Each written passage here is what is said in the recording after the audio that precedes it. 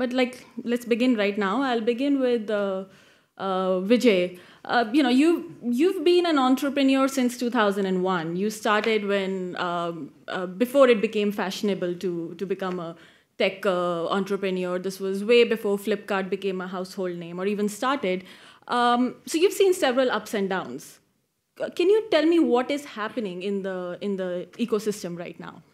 Yeah, I remember when we started in 2000, uh, 99, 2000, there used to be a Gartner report which said 2008 India will have 10 million internet connection or probably 100 million. I'm, it, it was order of magnitude big in a way, and that dumb thing didn't happen, whatever the pitch was.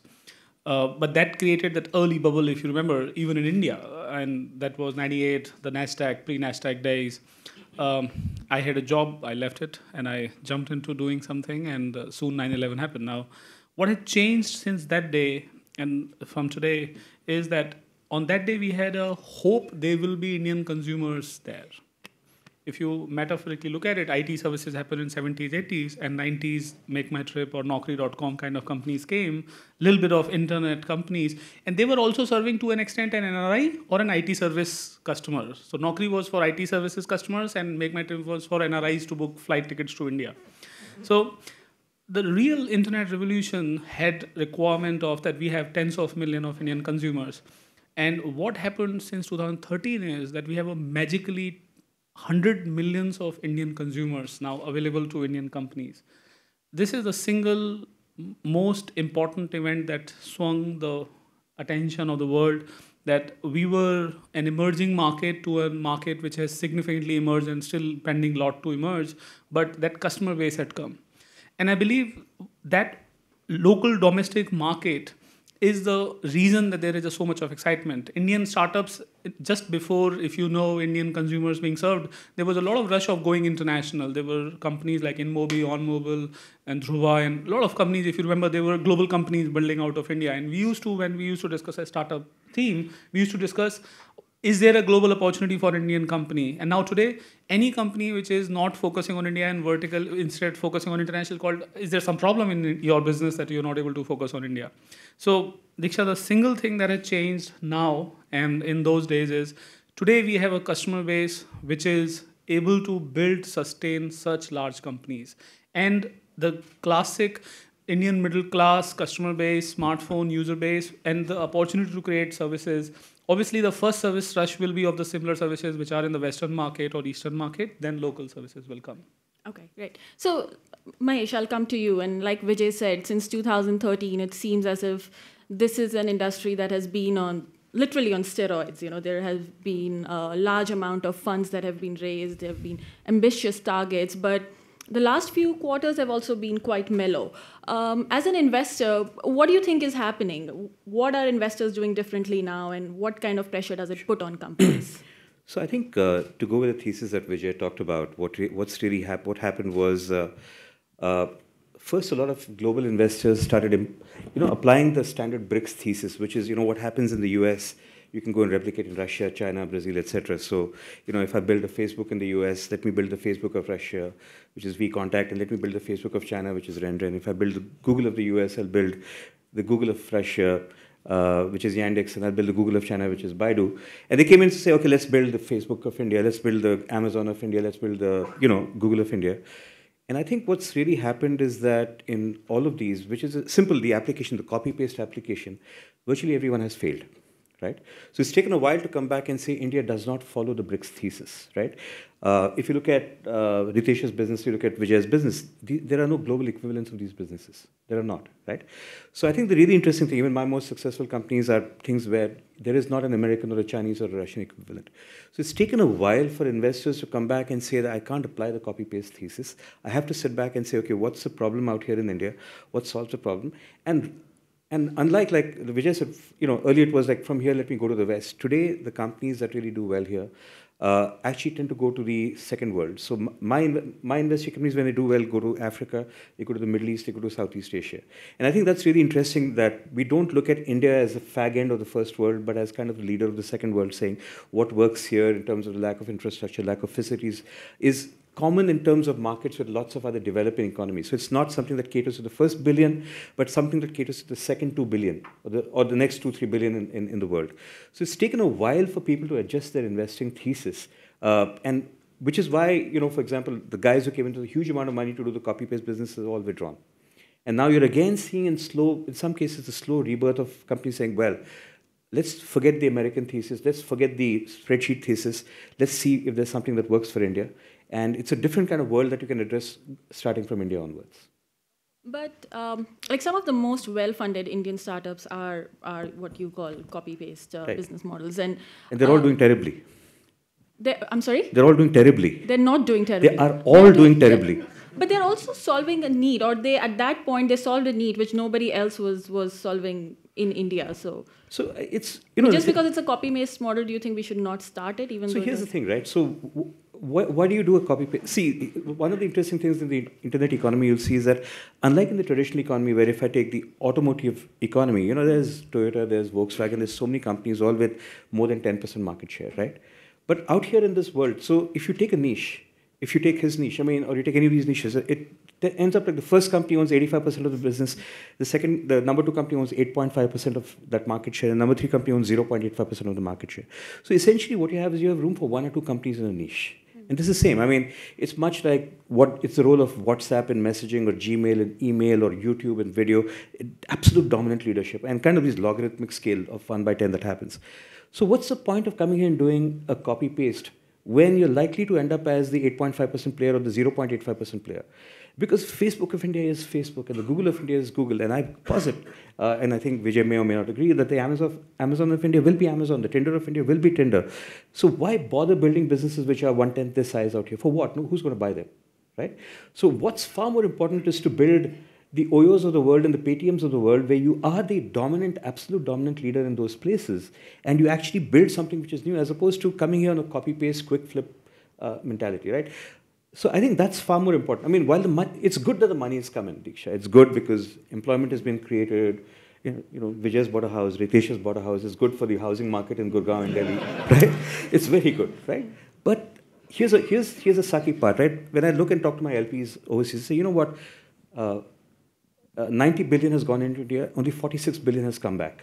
So as a country, in terms of VC and P investments, we haven't even returned the capital that's come in yet. So if people are making an aggressive bet on India, saying, I want to come in, right, at some point we will have to live up to the bet. You know, you can say 2013, but people have been investing here for 25 years, and we don't yet have a stellar record of rec- returning money. So if you want long-term, see, I started my fund in 2006. In those days, you look at you know any fund manager worldwide, he had an asset allocation spreadsheet. There was US, UK, Europe, etc., and there was real estate and uh, large cap and you know growth and, and emerging markets. So the smallest sector was for emerging markets, emerging companies. That was India. So you'd get 1% of the global allocation. Today, we get 2, 3, 4, 5%, right? Let's not screw it up. So we've got to be slightly more responsible towards the idea that it would be a nice thing to get money back to the people who put it in, as opposed to saying, well, the money's come in, you, who, we bought a lot of houses. You know, at some point, we, it's okay. We will have uh, small bubbles out here. They will burst. But on the whole, it's still good. Let the money come in. Let it stay in. It's doing good for everybody.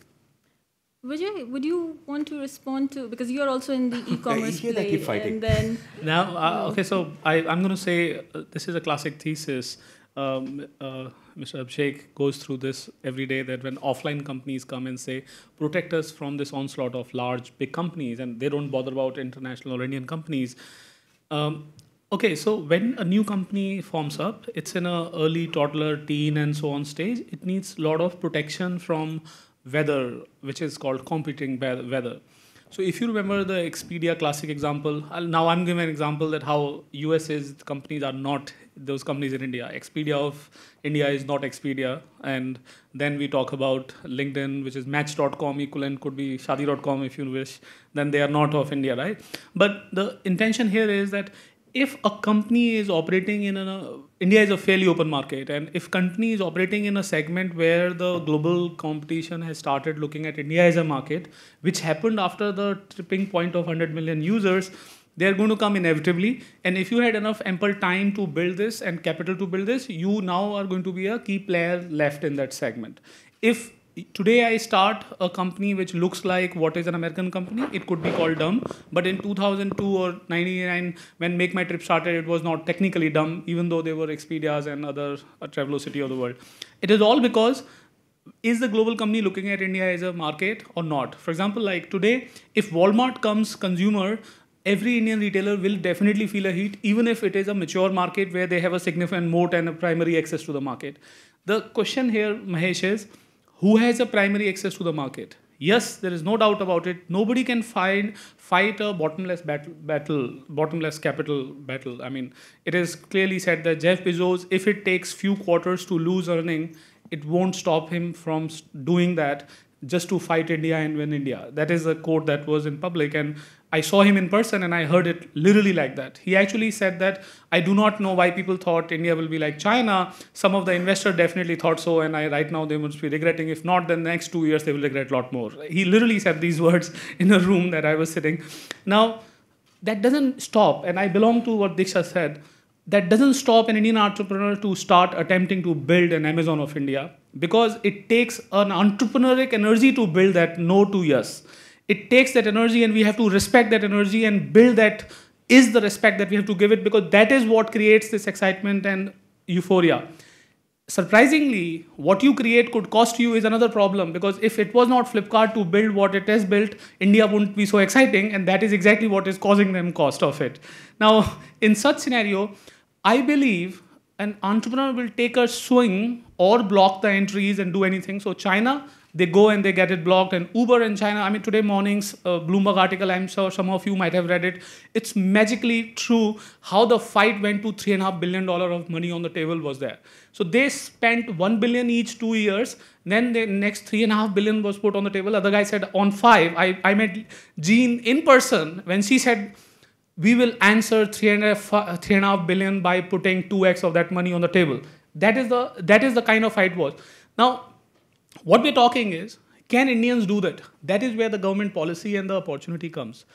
In India, it is a problem for an company to raise $100 million because number of funds that can 900 million check are lesser. India does not have Indian companies putting that money. Forget about uh, international companies putting money. In China, Alibaba, Tencent, Baidu, local investors, Hill House, everybody, whosoever is managing local destination fund was putting money. In India, no Mahindra, no Birla, no Tata, though Mr. Tata individually puts, but that is very small. When I say this, there is nobody who's putting like 100 million and 200 million and here is my billion, my friend, now kill this country. We don't have that aspiration actually. And I want to tell this that if we as India want to win this battle of supremacy in the smartphone world, we have to have Indian investors chase that battle, people who are Indians chase that battle, not an outsider investor who's taking a bet because this is a market and uh, this company will play a market here. Remember, remember, the GSM, the cellular was built by Europeans. It doesn't mean the rest of the world was not fighting, but European companies, Nokia's and the more, uh, you know, the Siemens of the world took it that. And the devices came, the Americans took that battle and Chinese manufactured this. Smartphone software, this is our home run, if you will. Yes, it is logical to think that India is a market for global companies which are not thinking is a market. But why are we not playing the big bet? Why are not we building a SoftBank which can go and buy a Sprint in US? Well, that's a commercially different reason that you may say that's not logical. But the point is, why aren't why India, when it comes to see an opportunity, goes back office and in store, not in the front office and owns that building? Why? Why Indian IT services companies build a BPO and not acquire Accenture and Capgemini. Why? This is a time, this is our time. We need capital, we need audacious aspirations, and we need people who can take those bets. That is what I believe is India's startup opportunity is. Building a small company which is battling for 8% market share is a second great prize. We know that. But why would it be happening? Not because that India is an open market and anybody can take it all, all back.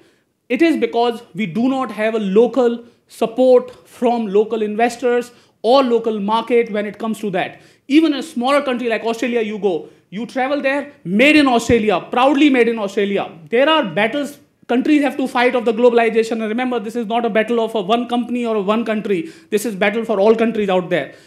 I wish this room does not settle on saying that Western companies, or for that matter, Eastern companies, has a first right on our market. I wish that is not the conclusion we end at the end of this debate. If I can uh, add to that, uh, rousing words, and actually quite agree with uh, Vijay on, on, on, a lot of this. Uh, my sense is there are large businesses to be built out here. The reason why uh, you know, for example, we were able to, uh, other people were able to build the Google of Russia and, and the Google of China was because they're protectionist countries, right? Russia is protectionist and China is protectionist, and India is not. We're open, right? Given that, what we really need are larger aspirations. Not culturally, Vijay, I think the issue is that, uh, you know, I have not funded a single BPO in my life or a single, you know, let's do it cheaper in India kind of process. I think even historically, we come from a socialist background. Even the Tatas and the Birlas and all, all the large companies, they started off kind of copy pasting what worked somewhere else and say, yeah, you know, you have a pump company, we'll build a pump company here. You have a car company there, we'll build a car company here. It's only now we're beginning to have original thought in this generation, right? It's starting. It's culturally very difficult for us to be truly innovative. This generation is, but our forefathers, even as children, we were brought up to be like somebody else. I remember going to school and getting 97 on 100 in maths, and my dad saying, Why can't you be like that guy? He got 99 on 100. Right? We always taught to be like somebody else, as opposed to saying, Look, it's fine what you got. Mahesh, Japanese built Honda, Toyota, Nissan when Germans and Americans had built their world's largest companies we have to build products built in India, made in India, made for India, made in Indian context, like we just heard. World needs lower cost, higher scalable, and largely scalable innovations built out of countries like us. We need to take head on on Visa and Master in payments. We need to take an head on on Amazon in the online retail, and we need to take an head on to any category that you wish to take, and we need to take that. I believe that newer incremental categories we should not give up I understand 10 and 15 years of innovation has gone in building a Google, Facebook, or an Amazon, but taxi ride is not what has been there for 10 and 15 years, my friend. It is happening in the parallel universe in two countries. I just want to tell you why I have this pain is that I was the guy who in 1998 out of college was building a search engine exactly the same point of time when Rajiv money meant two people, Larry and Sergey. It was nothing less that our search engine was looking to do than what it was supposed to do. We never had an opportunity to take a chance. This is our chance country is giving us to build and prioritize and build something in this country at a cost that we can build it and a scale that we can build it. And once we build it, it is our duty and obligation to take it to the world. But I repeat again, eh, world has repeated examples of the countries and categories which have been built. I love Patanjali's Ayurveda's outcome for what categories traditional companies have built. We have to see through the market which is not seen by common companies which have come from the international capital. We have to fight the managerial capabilities by entrepreneurial energy and we have to not find money as the last answer to the problem that we're chasing. So I'll bring Ramesh in uh, at this point. So you know, Vijay said that most of the investors in India right now, most of the biggest, in, like big investors, uh, you have Tiger Global, SoftBank, Alibaba, they're all Western, uh, Chinese or American companies. Why is it that we don't have Indian investors, and what is it that the government can do uh, to encourage more money from India to be pumped into uh, the startup ecosystem? After that spirited speech of Vijay, it's very difficult to come in because uh, see, government has been trying to figure out since early this year what all it needs to do to promote and you know the growth of the startup system. Uh, for funds, two initiatives have been taken. One is that creating a fund of funds for 10,000 crore rupees in four years. So the government gives this money uh, to selected uh, alternate investment funds who in turn take equity in the startups. So far, uh, 1100 crores have been given, and we hope, uh, I mean, they are allowed to take up to 35% equity. Um, SIDBI is implementing this. They take about 20, 17, 20 or something. So we hoping that this 10,000 crores in four years will mobilize another about, uh, let's say, 50,000 crore more of private investment. So that's one initiative. Now uh, it has started implementation. Uh, we want to fast track it because uh, the processes are rather slow. We are figuring out we are also a startup in this thing, you know, because before this year there was no concerted effort by the central government to uh, do something specific for the startup sector. So we are also in the learning mode in many respects. but we are learning fast by engaging with people. Another initiative for infusing funds is the credit guarantee scheme of 2,000 crores. We are in the process of going to cabinet after approvals. So that will give some comfort to uh, banks and other institutions who give uh, credit to startups uh, without collaterals. So they are the two major initiatives. But I mean, uh, one thing I just like to say, see the uh, government is very keen to do whatever it can. So uh, I don't think this is the end. So far, the infusing funds is concerned or support of any kind is concerned. Uh, recently, we have in last few months we have tried to uh, gather all the problems that the startups face in the country. This is one of them, with regulators, with RBI, ECB limits, with MCA, ESOPs, and you know tax break for IPR uh, commercialization. And now we have taken up with all the regulators and the ministries concerned. So because there are a lot of issues uh, where we startups face, but uh, it's good thing is that this is one place where we are connecting with the startup world and we are finding out the problems with various laws and regulators and trying to address them. Within the government, we uh, try to do that, and um, we are going to. It's going to work. I mean, there's no way it's not going to work. We'll uh, ne discuss, negotiate, and uh, try to get it done. So this is the, an important initiative. And Vijay, what do you think about this? Do you think this will solve that big problem that you talked about? Uh, I can say that that there is no government ever happened in this country which was bothered about startup at all. First, first and foremost, and whenever a regulator or a ministry had a choice to choose between an incumbent and a startup, there was no voice of a startup. Even the industrial bodies never invited people like us. I mean, this is so nice to see people like us having this chair itself here. And the government steps, I'm not going to judge what is a correct step or how could have been executed. I'm going to judge the intent and I'm going to judge that they have done incredibly well in publicly talking and making this as a public revolution. At my age, when I started, my parents wanted me to get a job because they knew that I wouldn't get married because people think that people, this is guy did not get a job, that is why he's running a business actually. It was a social problem and social stigma to be called a businessman. Today, a businessman, comma, an entrepreneur is looked up to, not looked down to. And that is possible because of our Prime Minister talking about Startup India and Wake Up India and things like that. So there is a larger construct that gets built around it. That is exciting. Obviously, individual items, there are inputs and there can be more inputs on that. And I'm all kudos to the team, which is at DIPP, that there is an excitement that continuously gets built there. Also, uh, you know, we've seen that uh, online companies or startups have been harassed in the past uh, because of some of the laws in in India. Uh, Vijay was telling me that he has an FIR against him. Um, we, we all saw what happened with Ola and Uber. Is there something that the government is doing to protect the online businesses? We are trying to protect the offline as well as online businesses. you know, so, that's your answer. So. See, business getting harassed in India is nothing new. Hmm the culture has been uh, virtually, let's not say anti-business, but it has not been very business-friendly. The whole attitude of people implementing various laws, particularly at lower levels. I mean, this is a huge problem. I mean, the problems that the online companies face, the newer technologies face, is entirely different, which is on top of the normal harassment. So, uh, for example, you know, uh, while interacting with people, uh, we find that e-pharmacies are coming now. Now, uh, they don't have it; they are not violating the law but the police inspector says that you are violating it uh, because the police inspectors are not very well trained in such matters. So now we are trying to take up this matter with the state governments that you know give a clarification from the Ministry of Health or Pharmacy and make sure that it doesn't happen.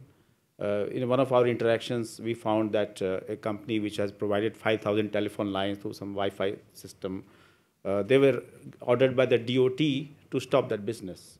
So I connected uh, him immediately to my friend, uh, Secretary DOT, who was very proactive. And uh, he immediately got relief. He his business was restored. And now they are changing that entire, you know, they're freeing up the whole domain from licensing. And there are so many other issues. Uh, we were having, you know, we have this committee on e-commerce. You know, let's come to this uh, specific question. And, uh, you know, in one city, we will not name it, the number of taxis are capped at 32,000 because of, you know, let's not call it mafia, but, you know, it's vested interest. So you cap the supply, and then you also cap the price. And the demand is, you know, huge demand is there. So how do you work? So we need to free up all these things. And uh, our laws, our regulations are completely out of sync in most cases with these new technologies and innovations that are coming in. We need to change all that, and we are working with various regulators and all that. But the good part is that we are working with them. You know, we have to sensitize them. Uh, you know, it's difficult to get everything done from the right from the top. We are, we are sensitizing all these ministries, and you know, for example, we had this meeting other day, other day to discuss 25 what problems that we had identified of startups, and this person from M- MCA Corporate Affairs said नहीं sir ये तो ऐसे ही होता है sir ऐसे ही होगा this is not is not going to change this the way it works so we said yes this is you have done a great job in the last 60 years but now we need to think differently you know because new things are happening now. New innovations are coming in. And our startups are doing a great job. They can do a much greater job. Let's provide them with the enabling conditions. If you can't help them at least don't choke them. So you know those are the kind of changes that need to come in in online commerce in technological innovations. We know the problem that uh, aggregator of rooms, Oyo Rooms are facing, and so many other startups are facing. So we are working on that, and I'm very hopeful that with this commitment from the top, from the Prime Minister himself, these problems will get resolved. Okay. And Ritesh, um, so Vijay said that you know when he started as an entrepreneur, it was he he couldn't get a marriage offer, and I'm sure right now, I mean, I'm, being an entrepreneur, I think I, I was looking at a Tinder list, and being an entrepreneur is one of the hottest professions. So I'm sure you don't face that problem. But what are some of the issues? You started your business in 2012. So what are some of the issues that you are facing that say you know didn't exist at the time of uh, uh, you know when the Flipkarts and the Snapdeals of India were launched, and uh, which is something that maybe the government should address. Yeah, so I think that's still a pain that my mom feels she uh, we would have over time, but that's hopefully not a problem. So you know, I think um, you're too young for marriage. yeah, I agree. I agree. Yeah. Now you have a government stamp on it. if your mother says something, you can say, Modi ji ने बोला बहुत जल्दी है बहुत time है just trying to help him vis-a-vis his mother basically so uh, my family used to be very concerned about what i'm doing halfway across the country they stay in the eastern half at odisha uh, and uh, last year honorable prime minister said that uh, you know, instead of being uh, a tea seller to begin with, why did he not start as a hotelier uh, after seeing OYO? And my mom was very happy that I was doing something well if the Prime Minister is talking about it. So, you know, what Vijay was saying about social change clearly is, um, you, know, you know, visible out there. So, you know, naturally, I think uh, when we started, we were in a much advanced situation in comparison to the problems that Vijay is talking about. Uh, incredibly lucky uh, from all directions, right? Capital was not as big an issue, which uh, naturally con- consistently is getting easier, right? I mean, it took us a year and a half to raise 25 lakhs of angel capital, which was raised in two tranches with part of that in loan, uh, which probably nowadays will sound like the most weirdest thing. But that point of time, you know, uh, 10 years ago, that was probably a bigger luxury than what I had felt when we raised capital. But naturally, a lot of these things were much easier. I think uh, few problems that uh, we feel, and you know, uh, these are things that are naturally in the process of getting resolved over time, um, are especially the local problems. Right at the top, what we see is there is clear intent and purpose of doing the right thing for new age companies. But remember that India is not one country. India is 150, 200, or whatever number of countries you'd like to state, um, and it's and and and administration is run locally by uh, various local authorities. And it's very important that it, all of this goes by the bureaucracy down to the last level. The good news is, since there is intent and purpose at the top, uh, getting stuff done on the ground uh, is so much more easier. Uh, the second thing is, um, you know, uh, to be specific around a bunch of things. It's um, and Nikesh talked about it in one of the uh, events that I and Vijay were together in, which was that most of the laws are being written by people uh, who probably don't know what's going on. And you know, I'm glad that we have people like uh, Mr. Abhishek who are so uh, aligned to the new age industry. Where basically, most of the times, it's not as if people have the wrong intent. They're just writing the laws as if they felt it was the right thing. Um, and hence, um, it is our responsibility as entrepreneurs uh, to be able to proactively go out and converse with a lot of these lawmakers and explain what these problems are all the way from taxation, where you know people didn't even imagine that there will be a time when there will be brand franchisees, which might not be actually a franchisee, and there will be a taxation. Funnily, there's no franchisee uh, that's being defined in the Indian taxation formats. So a lot of these things are stuff that are being done for the first time. Remember, India is still a very young democracy from that extent. So, um, so I think generally, uh, you know, our view is uh, problems are much lesser, but uh, they exist, but there's intent and purpose to fix it.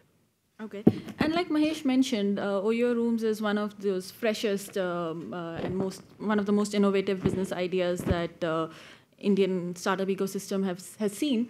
But do you think that I mean, how how does how would you circumvent the discount trap that a lot of other big, well-funded uh, unicorns in, in India have fallen into? And uh, because a lot of people would just go on Oyo rooms and book a room because it's cheaper, not because it has the Oyo branding. Good question, yeah. But I think, look, there are two uh, specific items there. The reason why Amazon and Uber have clearly won the market in India is not because they've given away discounts. Of course, that might be a part of it. Uh, but a large part of it is a service. The reason why Flipkart is still in the game is because they were doing incredibly well in comparison to uh, other e commerce companies in terms of service. So clearly, um, in the long term, given a choice, uh, consumer um, moves in the direction of service versus the other way around.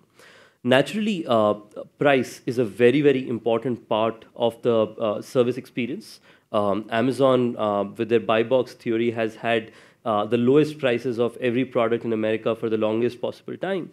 So I think um, at the end of the day, all of these things are generally built by means of having strong capabilities on the ground. And those capabilities can be service, those capabilities can be pricing, but pricing doesn't necessarily have to be you're funded, right? Like it could be funded by your merchants if you're enabling different kind of uh, scale of demand to them. Now I'll come to our specific case at Oyo, and uh, I, I, chased Mahesh a lot before uh, Oyo when I was doing Oravel, which is more like Airbnb of India. I'm glad he didn't fund me because I would have done the wrong business back yes. then. uh, especially because there's something I realized that if I was, um, you know, in India there are two big problems, right? One is discoverability, that you don't find great places online. But that's not as big a problem because you have Justdial, you have Google, and so on and so forth to find places. The bigger problem is predictability. That is, what you see is what you get. And that problem uh, is not a problem that you get solved just by sitting at one place and sending discounts, right? Uh, we have close to 700 people on the ground, standardizing hotels, uh, auditing hotels every three days, meeting guests and ensuring great guest service. We have close to 35 patent pending products in terms of how we use data sciences, everything from personalization, penalization to our partners, rewarding our partners, and so on, which has not happened anywhere in the world. So when somebody has to come and compete with us, they don't have to just compete with us on discounts, but they have to have the ability to put as much capital by the time they're able to build all of these capabilities over the next few years, which goes back to the point of saying that are you going to fight against managerial uh, abilities of executing somebody else's cause, or your entrepreneurial craziness is going to go out and create that impact? So I think, uh, you know, again, that doesn't mean uh, that there's no foreign company that can come in and compete with us in the sector, but uh, we have significant confidence in our abilities of being India first innovators with close to 35 companies copying us in other parts of the world, that we will create large innovative capabilities every day because in internet businesses, you don't, you never own the customer because if they get a better service at, the bet- at a better price, they will go there, and it's their right to go there. So the only best way of uh, stopping them is continuously innovating yourself and delivering a better service every day. Yeah, and like like I mentioned, uh, Oyo has disrupted the hotel industry, and even Cyrus Mistry talked about that. Uh, but last year was also a bit tough for your company. There was a lot of negative. Um, press. Um, uh, there were uh, some damning articles written, and even on social media forums like Quora, etc., there was criticism of the tech. Um, so, how does that kind of feedback affect a young company, your ability to raise funds, and also attract talent? So I think naturally, uh, you know, we've had our share of good and bad press, and I think uh, around all of this period, I have generally learned to uh, look at this in two different ways. The first one is basically saying, look, the press has been so generous to you that literally they put us on the front papers of newspapers for the last year and a half, and it's and it's amazing, right? Like the reason why so many people know us here, uh, you you knew about us is because press was so generous to us. So when they have the right of giving you so much access and being on the front page of newspapers, they have the right to pull you down when they choose to. So um, you know, uh, we, you have to be okay with it. But naturally, at the end of the day, a great business uh, is built on three major perspectives. One, are you delivering the right thing to your consumers? Are your owners slash partners happy with the service they're getting delivered to? and are your employees enjoying and creating the impact that they are? If you do these three things right, you'll keep doing extremely well. So uh, we've naturally seen that because our business and consumers were saying great things about us, we were building a great business with in terms of repeats, cohorts, and the kind of economics we had. We continue to raise capital in the right way. But on the other hand, um, we've possibly built and you know, reality is every entrepreneur would like to think of it this way. Uh, one of the strongest teams in the Indian ecosystem, and I was generally lucky that way, because most startup entrepreneurs um, have the luxury of recruiting their friends as the first level leadership. Most of my friends were in school back then, so I couldn't recruit them. so uh, I, I, had to recruit really high quality professional talent um, who had sane head on their shoulders, um, which which has also benefited us significantly because they've had a great experience working with us, and they go out and tell great things to their friends and people whom they know. Okay, Shri, at this point, I would like to bring you in. When you are investing, how how important is the reputation of an entrepreneur? So let me actually just back up a little bit. Uh, you know, for uh, this point around money in India, the one thing I just want to point out is that. Um, one of the big issues we have is we actually have large pools of capital in the country with the pension funds and the insurance funds. It's just very difficult to access. The way the government regulations, the IRDA, the PFRDA, the regulations just don't allow investments in startups. And if you look at the history of uh, you know, private equity and venture capital investing around the world, the bulk of the money, the LPs, come from the pension funds and the insurance companies. We have to find a way to open up those taps. I think it's very important. To your question, I just want to go back to my experience, you know, when I did a startup in Silicon Valley in the late 90s. Uh, I, I have to say that the experience at that time is quite different also still from the experience that startups face today. At that point of time in Silicon Valley, you know, I remember when I did the startup that we couldn't get a place, you know, for an office. The real estate agent wanted warrants in our company. It was that crazy over there we need to build really, in my mind, the ecosystem where it, it, while there's a lot of press about entrepreneurs and startup, I don't think it is still the aspiration for the majority of people in the country to become entrepreneurs. I think we need to change that mindset, and I think there are many things that need to happen over there. One of it is obviously the access to capital, but the other is also, you know, high quality incubators, high quality mentorship, and doing that at a scale that's very different than what's been done anywhere in the world. We are a country of a billion two people.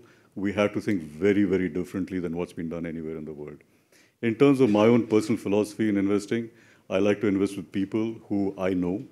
Uh, and so my universe is much more limited than, let's say, what Mahesh might be looking at. There are a lot of people who are chasing him. I think the set of people who come to me are people who generally know me and people who have a good idea. And I depend on people also like Mahesh, other people who know what, uh, what the investing world is like and I depend on their advice to figure out where to, where to invest. But I do want to go back and make sure that we don't lose sight of the fact that there is a lot of work still to be done. I think we are sitting over here thinking that the game has been won. I think we are probably, you know, at the very, very beginning of the game. The other thing that I also want to point out is that the narrative around startups seems to be around online businesses. And I think we need to make sure that we don't lose sight of the fact that startups can and should exist in India in many different areas. We should be looking at manufacturing startups. We should be looking at startups in the agricultural space. We should be looking at startups in high tech, whatever that might be. So I, I, I want to make sure that the narrative is not just you know, what has been in the last few years, which has really been about online startups. We have to broaden that for this country to really create you know, the, the generation of employment this country needs has to come from there we have to create another Germany. We have to create another United States. And by that, what I mean is not just in terms of uh, acceleration of value creation, but also the employment that came from middle Germany, from middle America. That needs to happen over here as well. So if I can uh, add to uh, what uh, Srivatsan said, uh, I think it's really important again, Vijay, and this is a point to uh, uh, the gentleman from the government out here, that the largest untapped pool of capital is actually, I mean, the largest potential LP in India is LIC.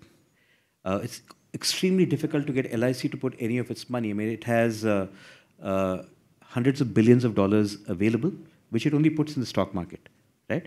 Strangely enough, I, I, I wrote a small piece a couple of years ago saying LIC's largest investment is in a cigarette company in India.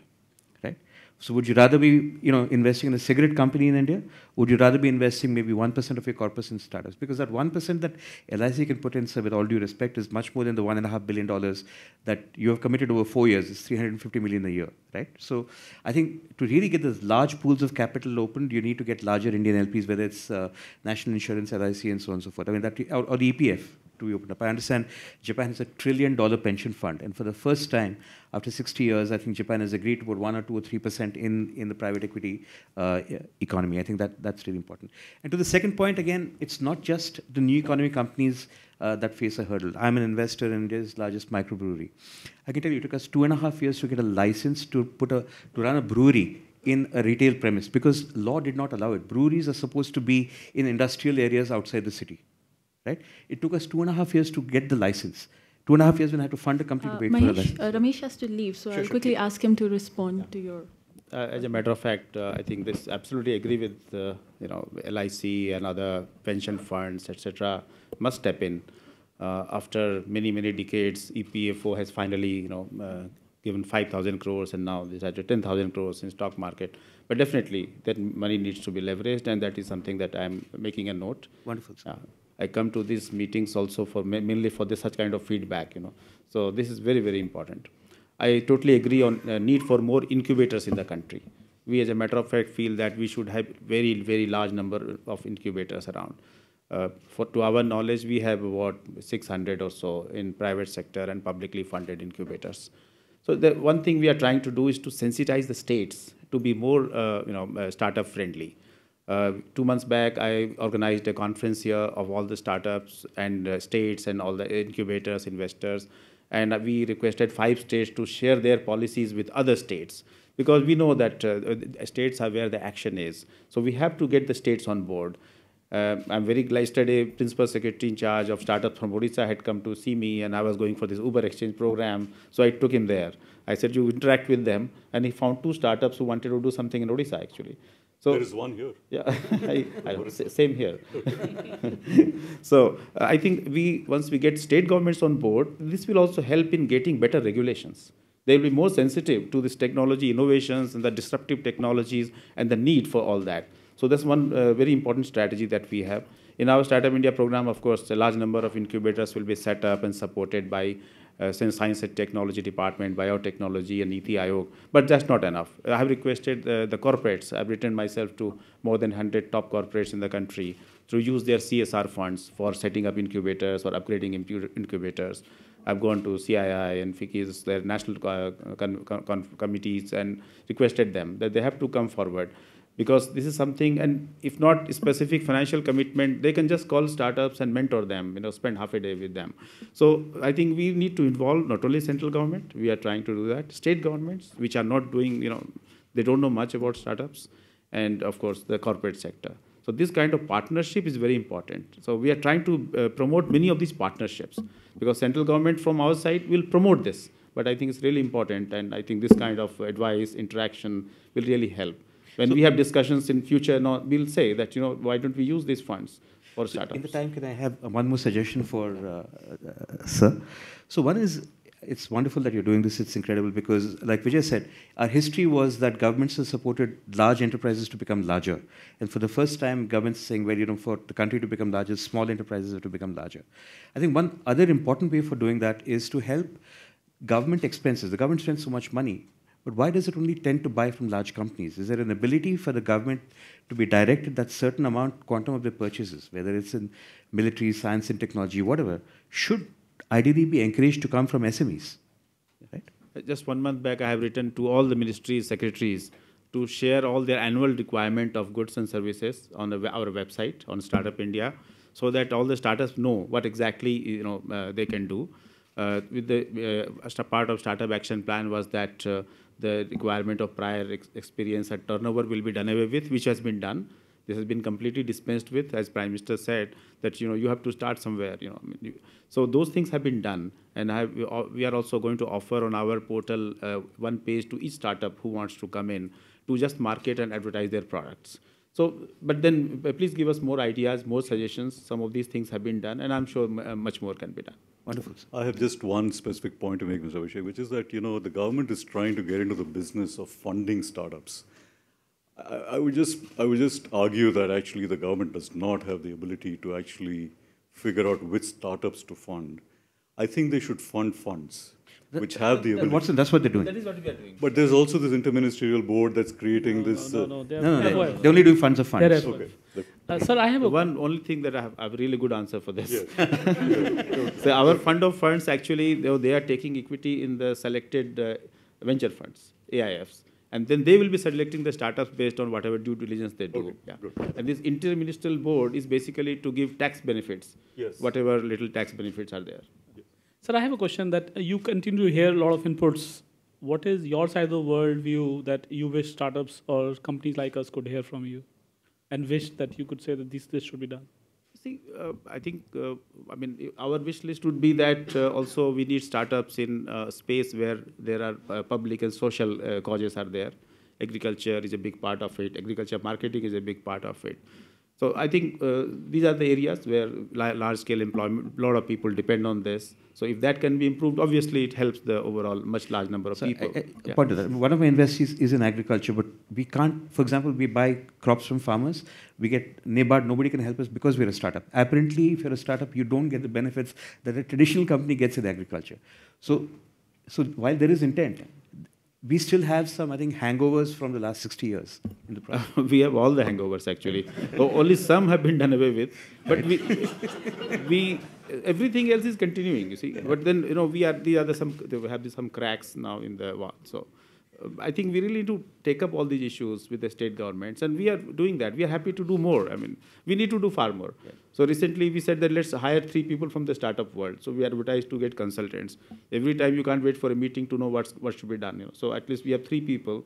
So we have advertised these, and I hope that uh, we have really knowledgeable people I coming three, in. we are applying, three of us are applying. yeah, pro bono. but pro bono is fine. I thought you wanted us to pay also. That we will not ask out. That's fine. You don't. Anyway, thank you so much. Thank you. Thank Thank you so much, Mr.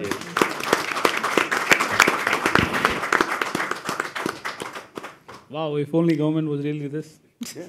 And I was wondering if there's anyone who believes that the startup ecosystem is not a gold mine and would like to you know, share their, his or her views with us. Because somebody might believe it is a Okay. platinum mine. Do you want to come over there? Vijay is ready to beat you up. All right. Can we Yeah. can we have a mic there?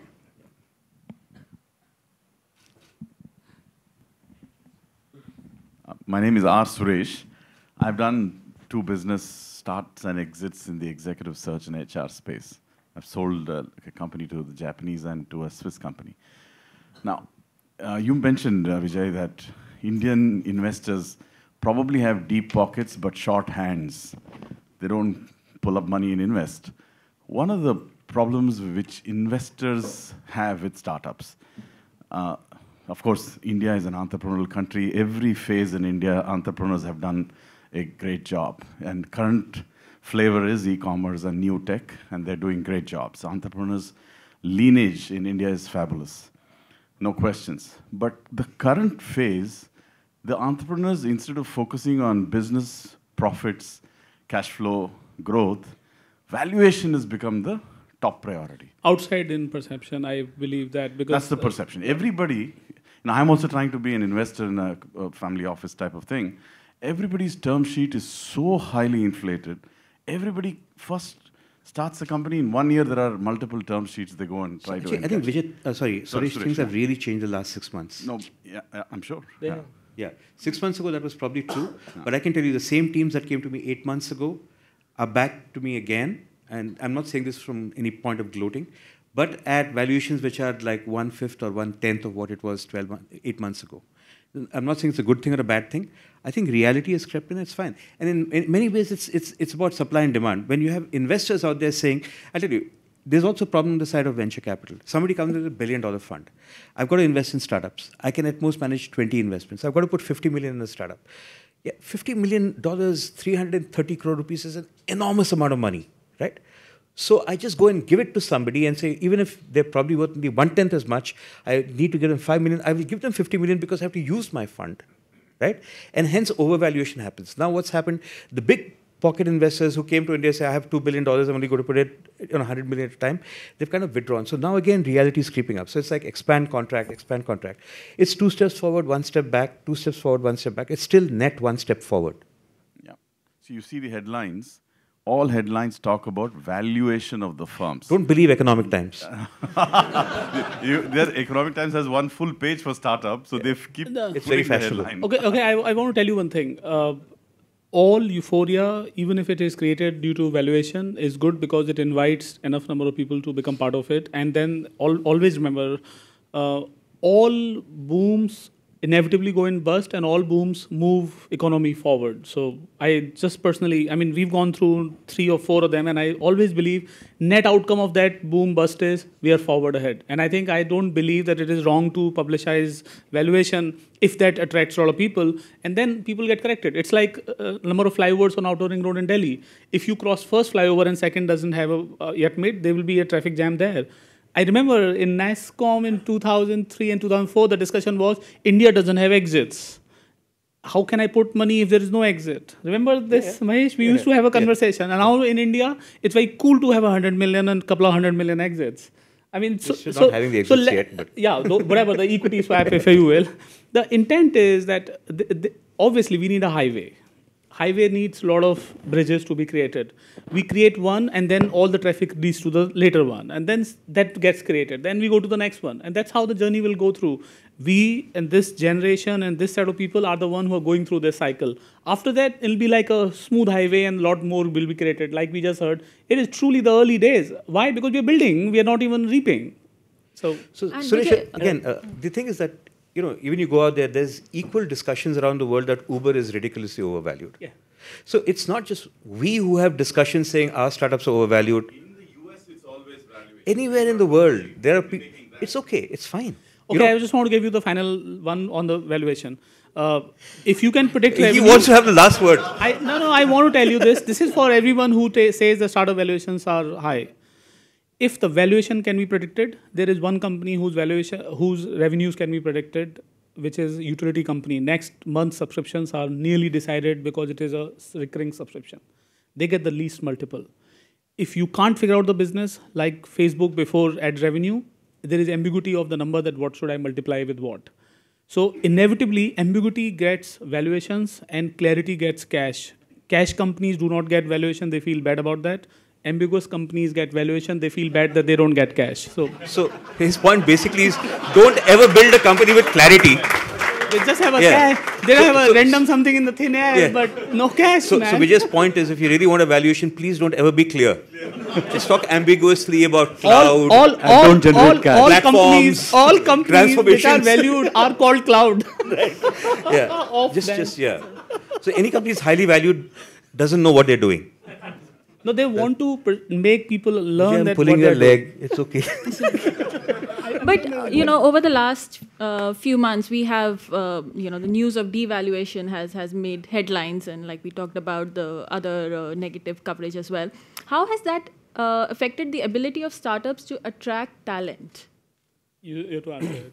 Yeah, so I think uh, two specific things, right? First off, I don't understand why there's you know so much um, you know uh, pain to people when somebody is raising money at a good valuation. It's okay, right? Like, wh- what's the big deal? Even the damn stock market reduces the that's price. the yeah? whole point. I mean, So, we, you are know, if you- we are privately listed undervalued in last three months. That's fine. if you Your look stock at- crashed. It's fine. all the public markets globally are overvalued, including Indian stock exchanges. I know of companies that are not, not such exciting companies trading at 40 times multiples, right? Absurd at, at uh, whatever levels you're talking about. So, I think the problem is in this business, people are trading at 5,000 times multiples.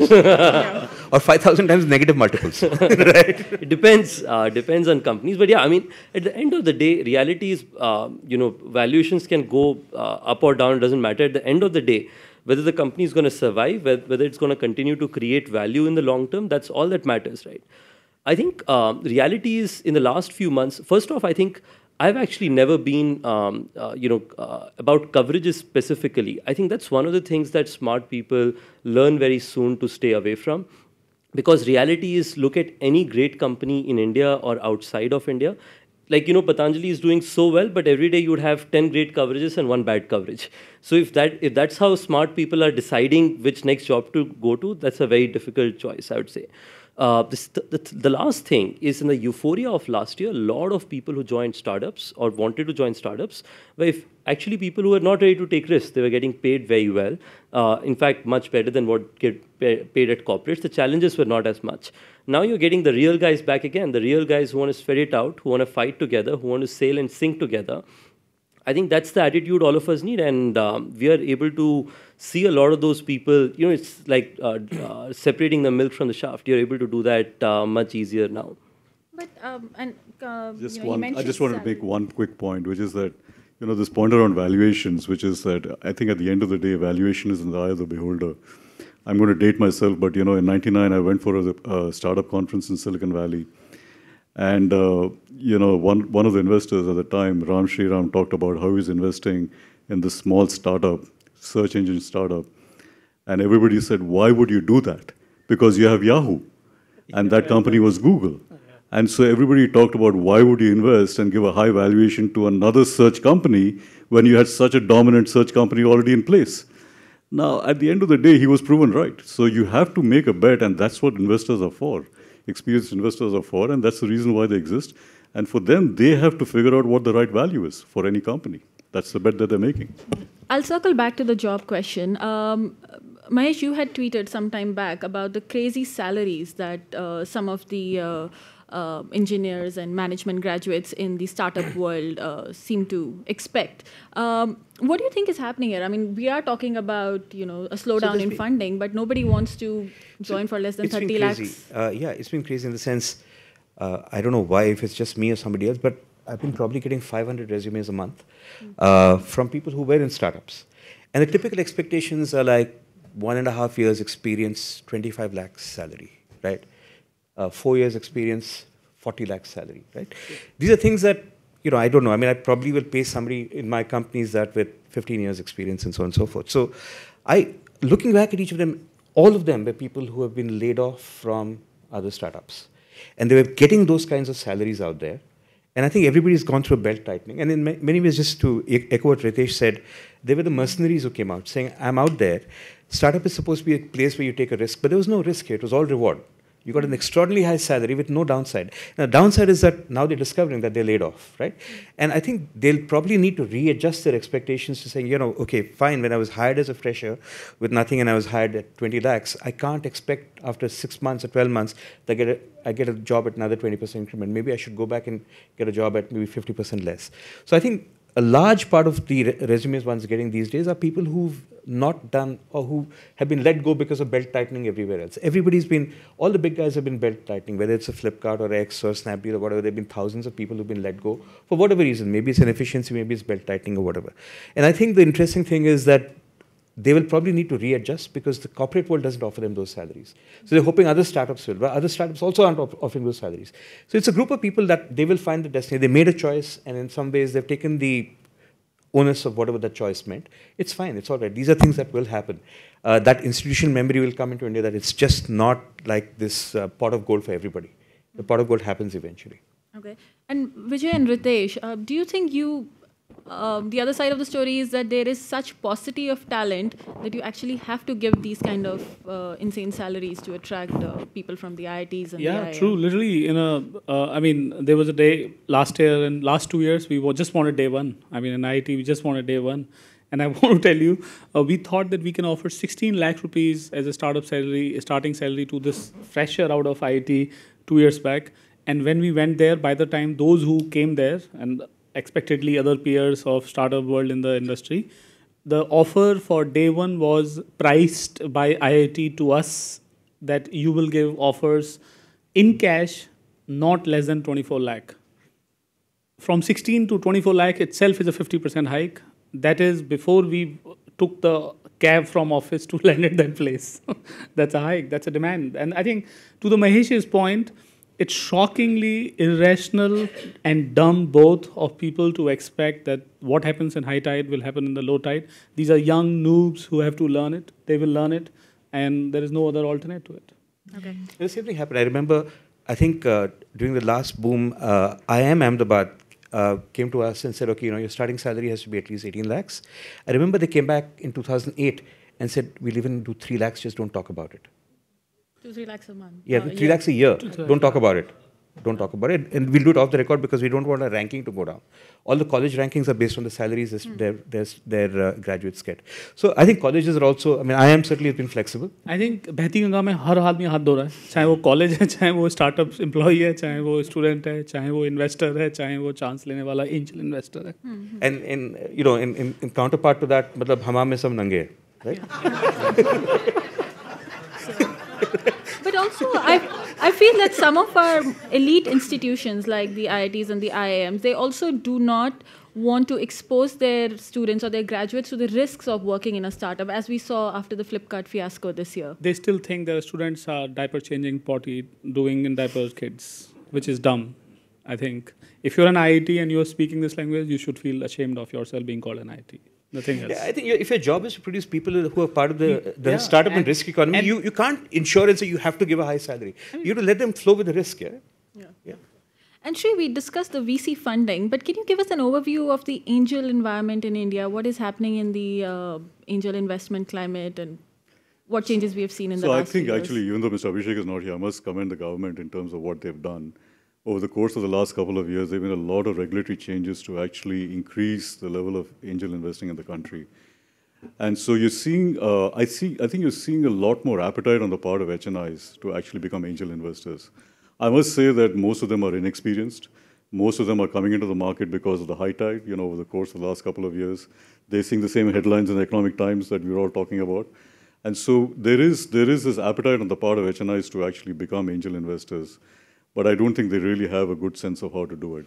Some of them are becoming part of angel networks. uh, Some of them are part of, uh, uh, you know, sort of informal clubs, so to speak. Uh, but I, I would say that there is going to be a, a, significant increase in the level of angel investing from HNIs over the course of the next few years.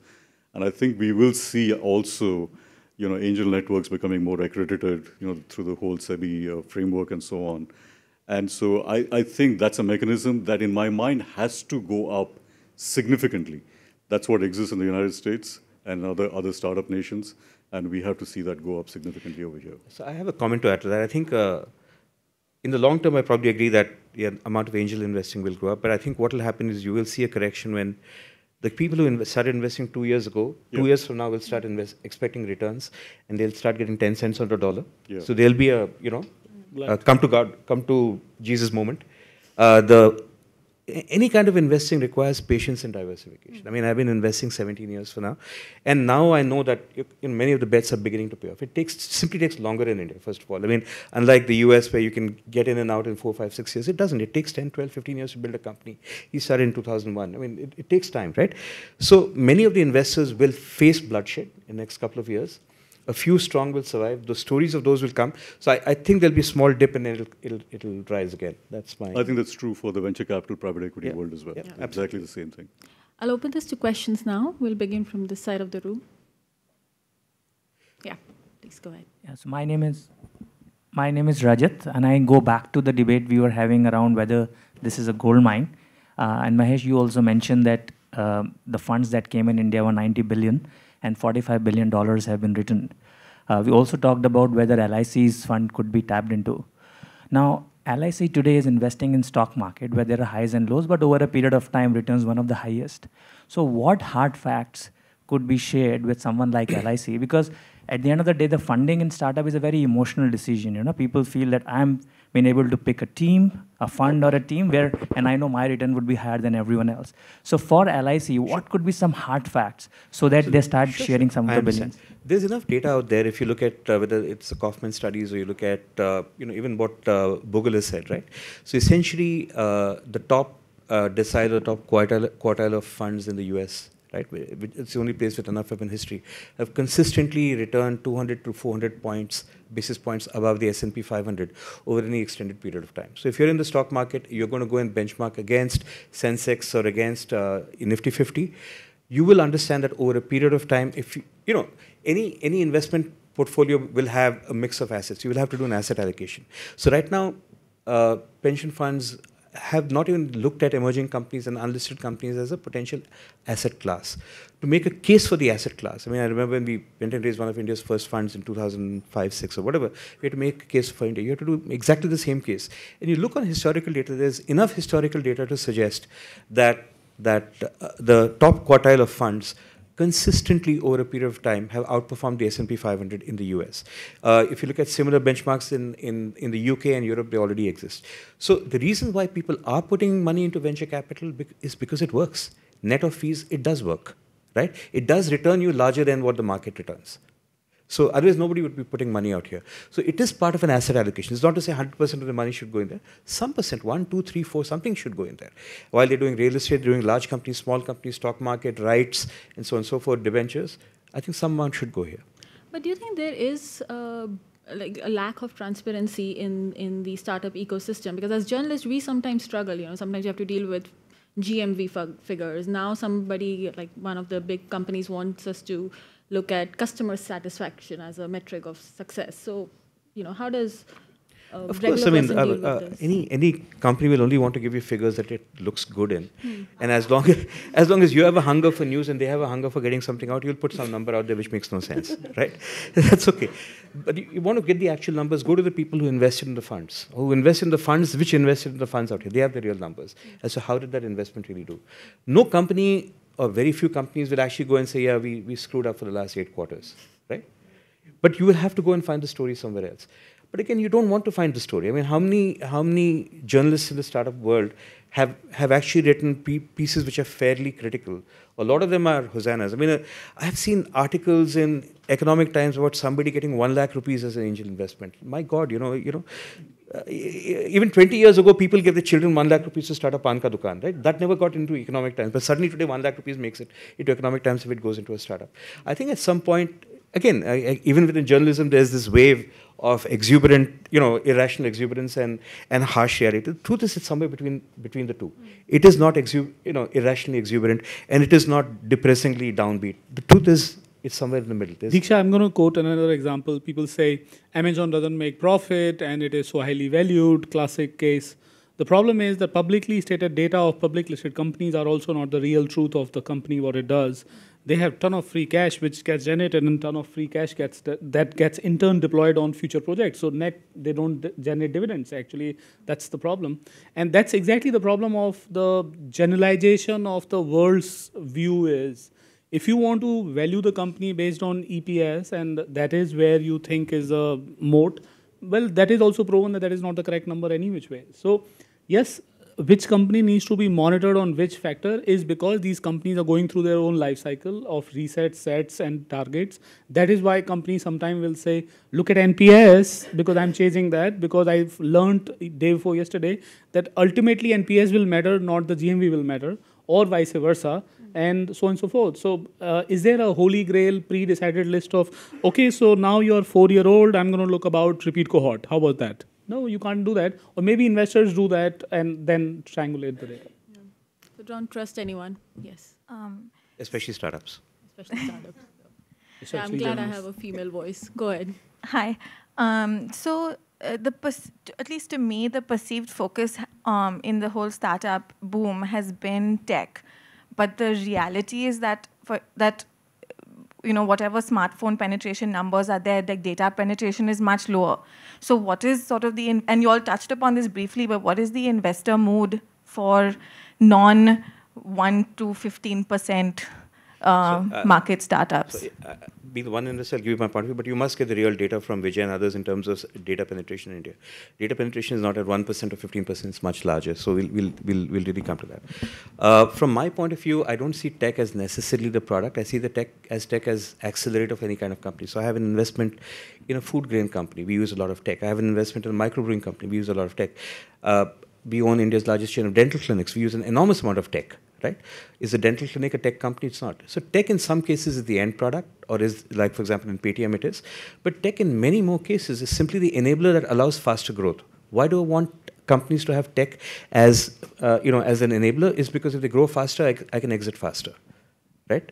That's that's really it. So it's not necessarily tech as the end. So you wouldn't think of an agricultural tech company as a tech company, or but they use an enormous amount of tech. And Sri, do you want to jump into as an investor? So I would say that um, I, I, let me start by saying I agree with Mahesh. I, uh, I, I, don't I don't think there's any dispute about the fact that tech, in many instances, actually, and we work with large clients as well, not just with startups. But for a lot of our clients, you know, tech is becoming a disruptor that you have to pay attention to. It doesn't matter if you're in construction, whether you're in cement or real estate. You have to figure out how to how to use technology as a means to not get disrupted.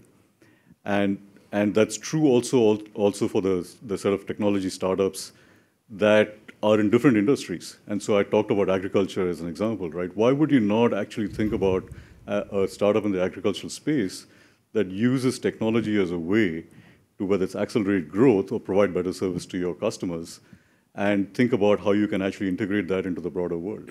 So I, I, I, don't have, I don't have much more to add to what Mahesh says, but this is true not just, by the way, for startups, but this, this is true today for every single company in the world, every single company in the world. And I think naturally, uh, you know, for us as a company, for example, we uh, operate in management contracts hundreds of hotels already, right? Which is an offline business, right? But in all of that, remember, 100% distribution is online. We distribute everything through our mobile products, which either can be bought by a real consumer or by a corporate or by a... and, you know, example of that is Airtel, right? 800 million mobile phones in India but entire distribution being run uh, digitally by using Easy Recharge, which you know the Lapu system became extremely famous at one point of time. So mobile can, like Mahesh said, accelerate um, your development while you might actually not be in the uh, business of internet. And final one line that tech cross with industry, industry loses tech companies which learn the art of industry win, and that is where the tech becomes a primary moat instead of the industry moat. Okay. Just introduce yourself, Anila. Uh, I'm Jaydeep. I'm a global shaper from Chandigarh. Uh, I, am involved in the electrification of the remotest villages in Ladakh, uh, and we've electrified 15 villages till date. My question to you is, uh, we've seen a lot of investment in the e-commerce space and the service space, but when it comes to initiatives like us, they're treated as good causes, but not as business models. And uh, you know, when people ask, okay, what is the rate of return? I mean, you're asking from the poorest of the people who've not seen a light bulb to actually pay back. That's one point. And whereas at the same time, you're investing in companies where there's almost 20, 30 million of cash burn happening every year or every, uh, you know, uh, so forth. So where does, uh, you know, startups like us, which are actually reaching out to the poorest and actually improving their lives, start being taken seriously? And also the kind of innovation that we are doing. So one is, uh, you know, setting up these decentralized microgrids and also setting up innovation hubs where places where the mobile phone does not work, we are able to set up offline internet and provide access to those kids. So, the question is, you irresponsible venture capitalists, you invest in all these loss-making e-com companies, give good cause some money. Yeah, yeah. So here's the thing, right? Uh, strange though it may sound, we also have people that we we are responsible to. I mean, I'm responsible to my, to my LPs. So while when I invest with my own money, I have a far more patient view of the world, and I can wait 20 years, and I can do things that I like, even if it doesn't pay back because I want to do it. It's my own money. But when I invest other people's money, I have signed up for something. I have signed up to return money in 8 plus 1 plus 1 or 10 plus 1 plus 1 years. I have signed up to, you know, maybe try to hit a particular IRR. So I will then have to judge you based on the same norms that I judge anybody else, and I have to take a call and whether you're capable of delivering that growth or not, right?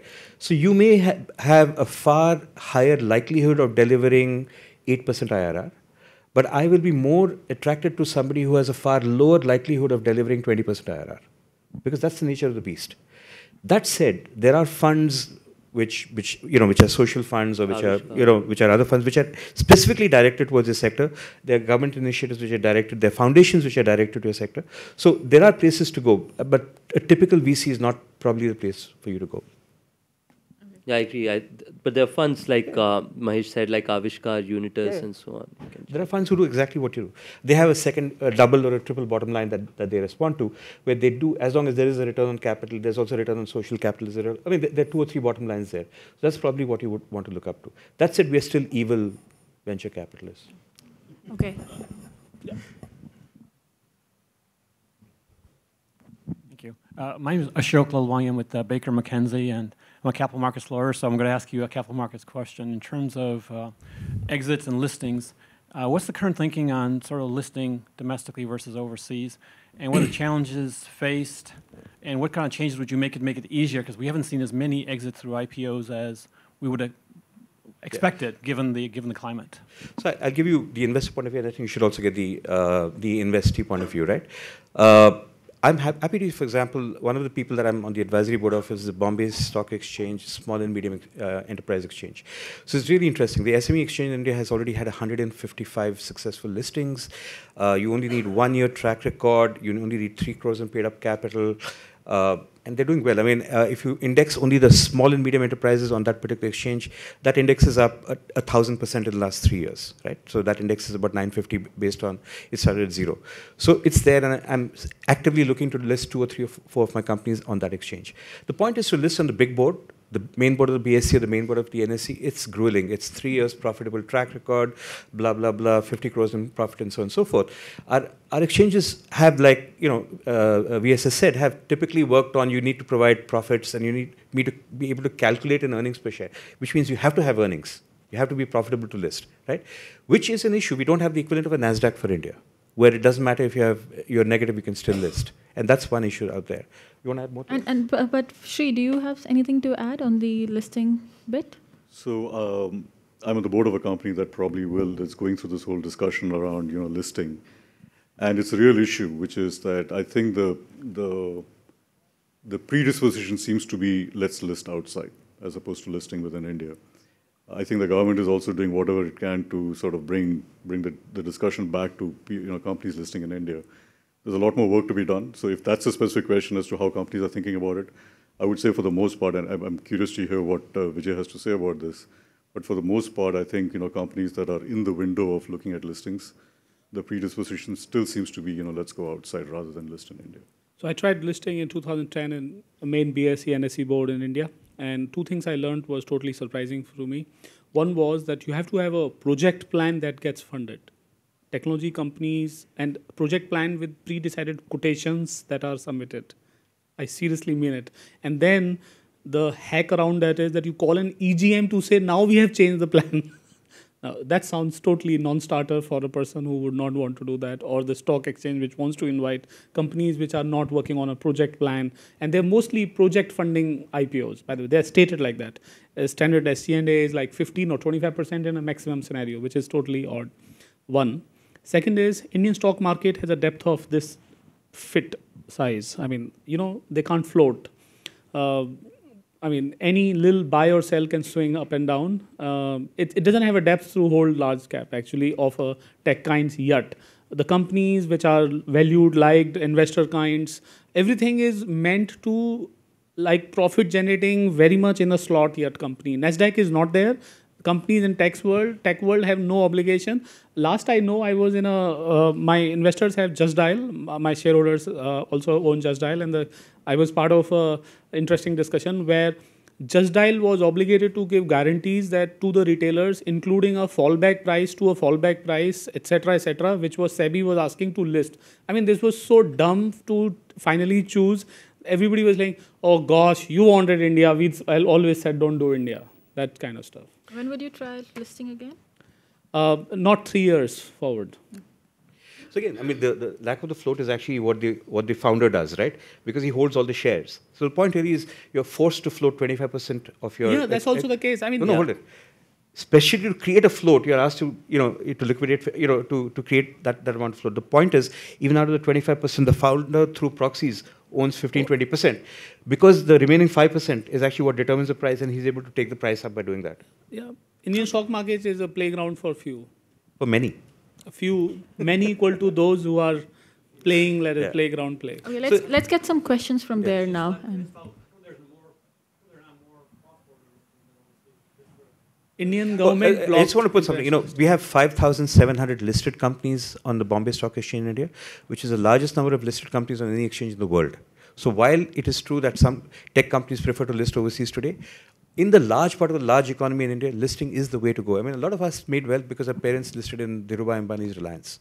That's why we're all here in some ways. Our educations were paid for by that listing, right? So we are still a very listing-friendly country, but not so much in the tech sector. I just want to put But that the out. flip side to that, what Mahesh said is that out of the 5,700 companies that are listed, only 500 are tracked. Which are- means that are- if you actually want to understand what's going on in those companies, You have go analyst reports on about five or six hundred of them. That's it. That's really it. You have questions at the back? Go on. Yeah. Yeah, hi, my, my name is Prashant Pillai from Thomson Reuters. So I have a question for Vijay or Ritesh or anybody else. Uh, you know, one of the challenges that I see is, you know, foreign funds coming in, investing, uh, startups really trying to acquire market share.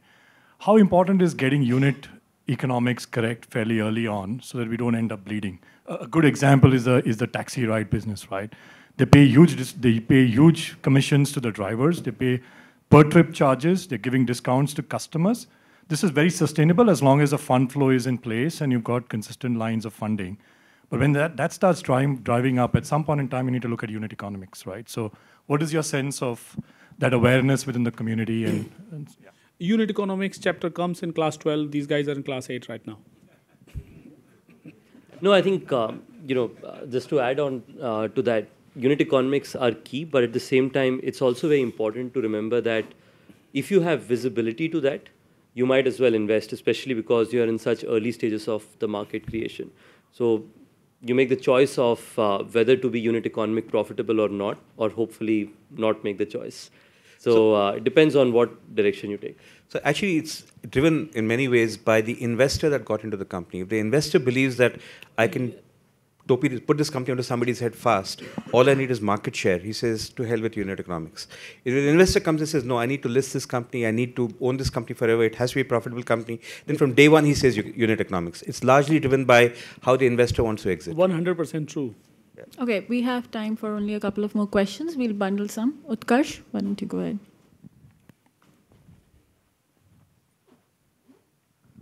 Sure. Uh, thank you. Um, my question is about cybersecurity. You know, with, with a lot of connectivity coming in, are investors or entrepreneurs running companies, are, is, is it a part of conversations or is it still an afterthought?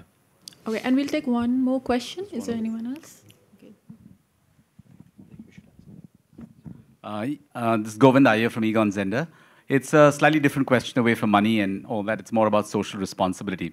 How one of the things that's happened, one of the things that's happened over the last five years is, is a great startup movement in India. But I think what's coupled with that is also expectations. I think uh, Vijay and Mahesh were talking about the 3 lakhs IIM, 24 lakhs IIM starting salaries. That's really affecting the minds of youngsters because they're getting so much more money than they should. And I'm curious to know whether in the startup ecosystem and in the investing world, whether we're doing something to make them solid, more mature about how to deal with money. Because this, the story is not going to last forever. And at the time will come when there'll be a social fallout on that.